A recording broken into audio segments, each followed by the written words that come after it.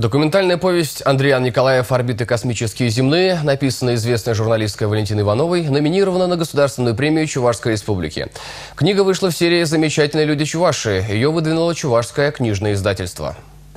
Документальная повесть Андриан Николаев «Орбиты космические и земные» основана на воспоминаниях людей, которые в разные годы работали с летчиком-космонавтом, дважды героем Советского Союза Андрианом Николаевым. В книге также представлены рассказы дочери, братьев и друзей легендарного человека.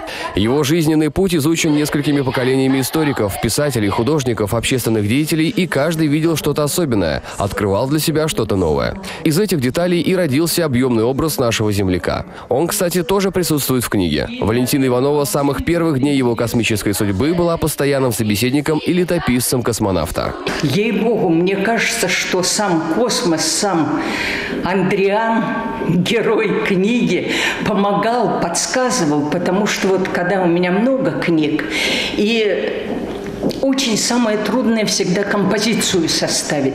А здесь она как-то сама собой пришла, родилась и все.